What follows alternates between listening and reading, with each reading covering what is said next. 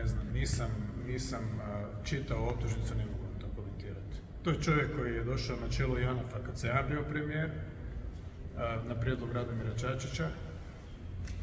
Nastavio je s Plenkovićem i jednom, drugi put, ja sam ga poznavao i to je to.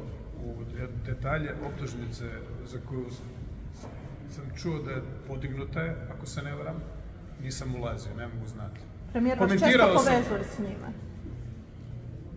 Premijer baš nije dobar dečko, znate. Mislim, to je tak, ne.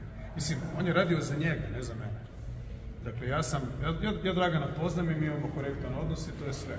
Međutim, on je postao direktor Janafa u mojoj vladi voljom Čačića. I ja sam to prihvatio, smatrao sam, ali to nije bio moj odabir. Međutim, Kovačević nakon toga postaje Plenkovićev odabir.